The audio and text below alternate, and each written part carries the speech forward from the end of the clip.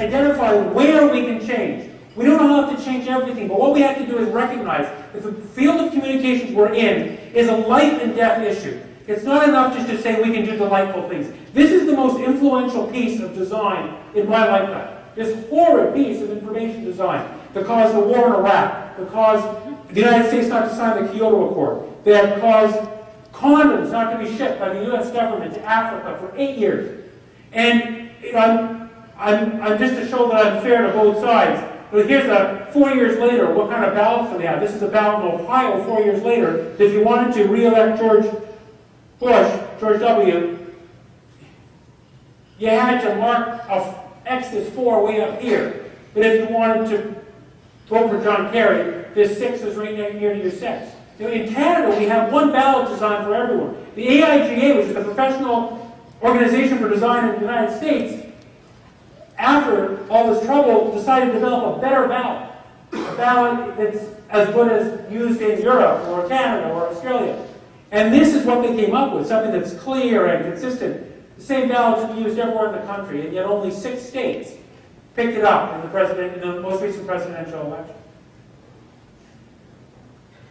I took this photograph last night on 4th Avenue, just a few blocks from here.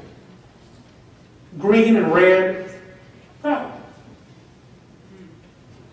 Now, did a little bit of research. Found out that uh, over 8% of the men in Virginia have some level of color blindness. I also discovered that the, the greatest cause of accidental death in Virginia are traffic accidents. This is what these lights look like if I've just taken the color out. This is what these lights look like at night if you're completely colorblind. The only distinction between them is the level of the light, and of course that's difficult to see. Can we not do better? This is a type of uh, traffic light that is being tested in the province of Quebec and Canada. As I learned last night from, uh, from Curtis, apparently they're in Minnesota and Wisconsin as well. Now, it's the same idea, except there's two reds, and the reds are square rather than circles. So, not using just color as a primary, a primary design cue, we're using color, but we're also using shape and frequency. That is, there's two rather than one. And what we find is everyone loves it. Not just the colorblind people, because the, the parallax of seeing the two points from a distance gives you a sense of how far away it is. And, and indeed, because we should all be switching to LED traffic lights anyway over the next 10 years to save money on energy, it makes sense we should all switch to this type of system. This is simple design. This doesn't cost a lot. So why aren't we changing?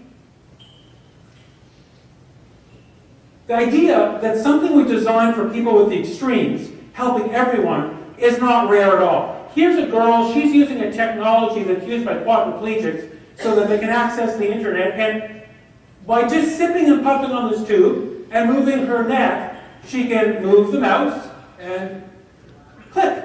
She can surf the web.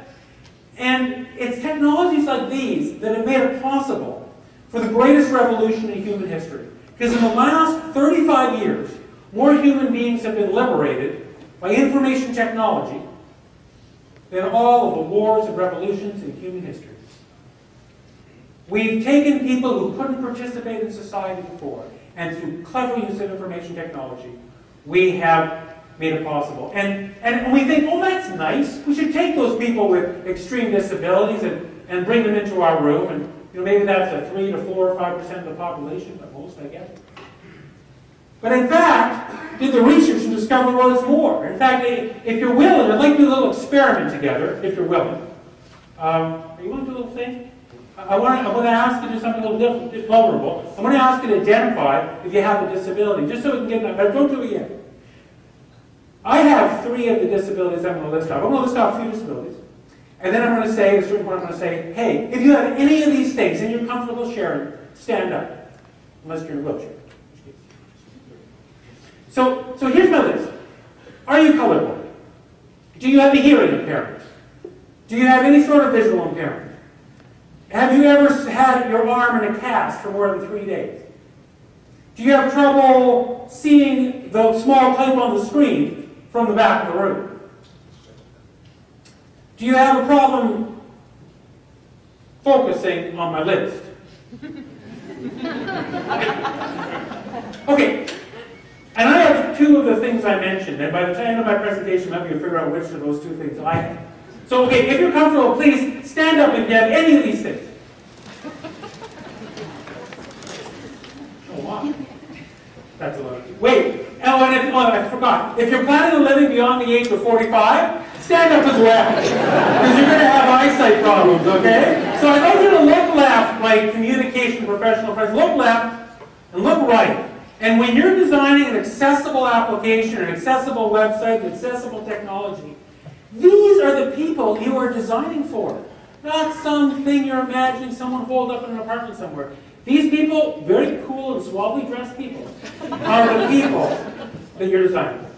Thank you for, for making yourselves vulnerable. Please have a seat.